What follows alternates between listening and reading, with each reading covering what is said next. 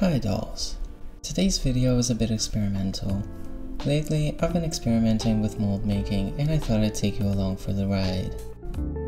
Having recently purchased a Fashion Queen Barbie head and having no place to display her wigs, I thought I'd make some wig stands and a mannequin. And because I'm not particularly fond of lawsuits, I used a vintage clone doll to make the mold.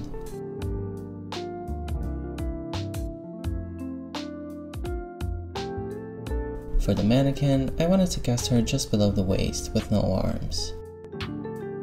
So I take the arms off,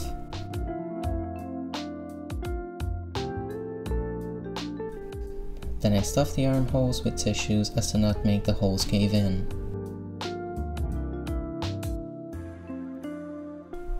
Then I cover them with tape.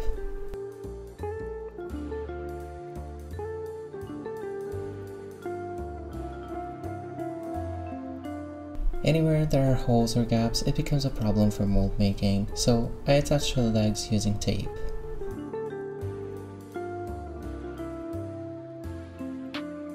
I fill the bowl with water and some dish soap. This will act as our catalyzing agent and make sure the silicone doesn't stick.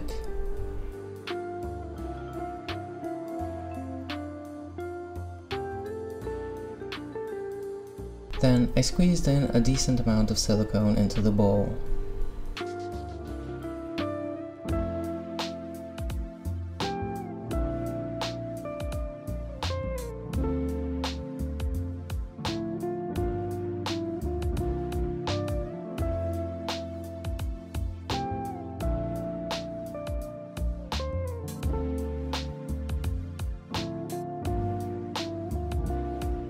Cover my hands in soapy water as well as the doll.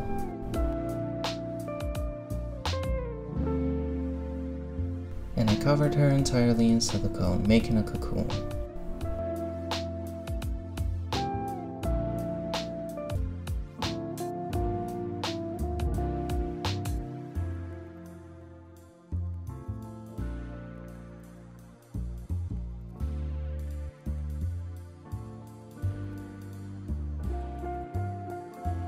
And this is what happens to disobedient dolls who don't follow the rules. After it was done curing, which was about a few hours but ideally overnight, I cut it in a zigzag pattern as to make it easier to attach when pouring.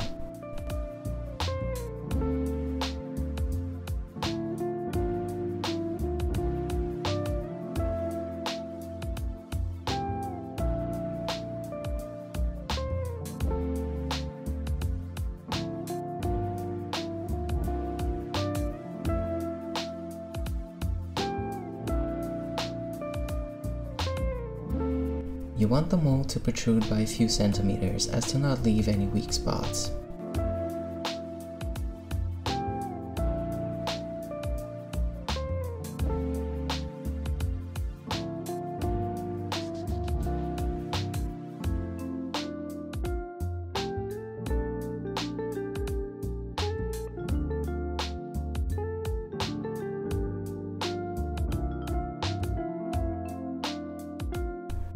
Always test your mold with water before potentially wasting your expensive stuff.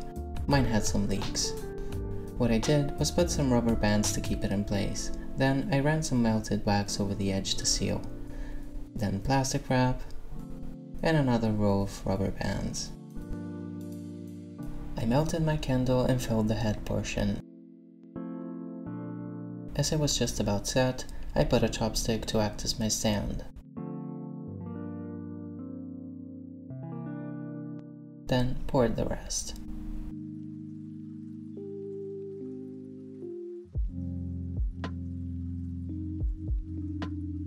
I made the wig block mold the same way. It seems I was a bit too eager to get this done.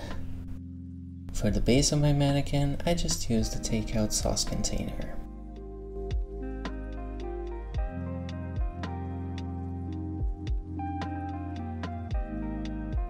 Wig block came out of the mold great, except for a few air bubbles, which we can fix later.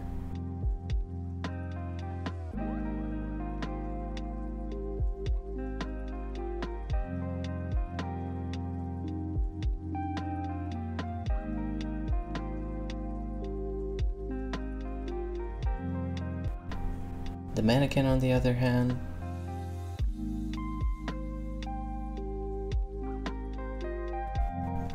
had a bit of an accident.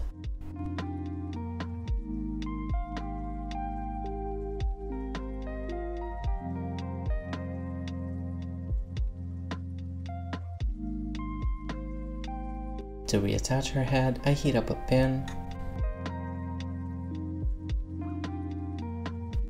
and use it to connect the head to the body to give me some support.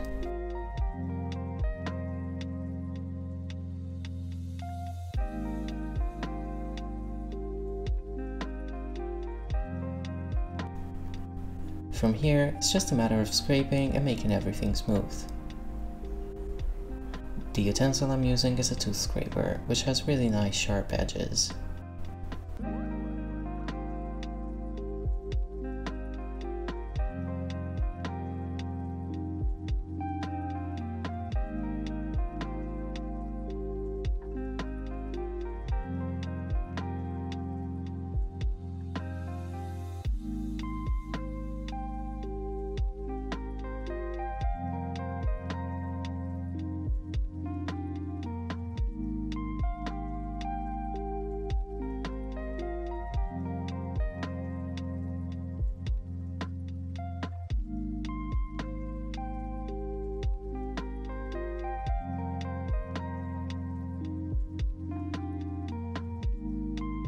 For the base of my mannequin, I am smoothing it out with a utility knife.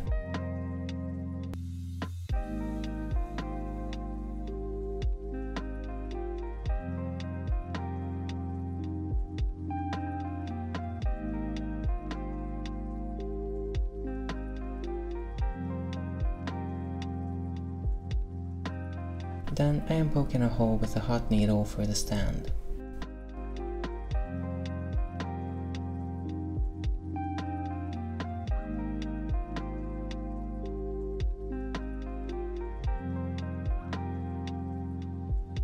Now for the scary part. I mixed equal parts of A and B. I mixed in white acrylic.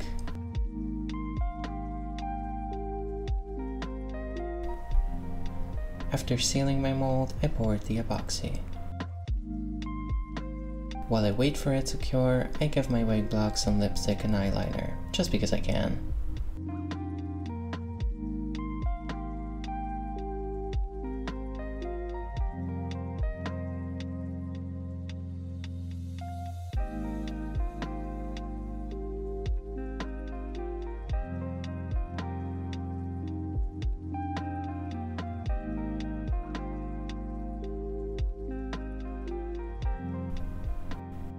And here's how the epoxy head turned out.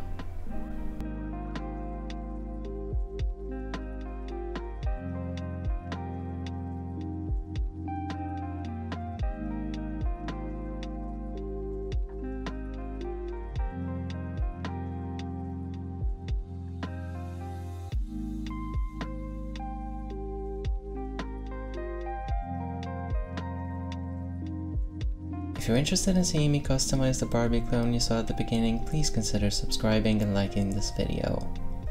Thank you guys so much for watching, and I'll see you soon.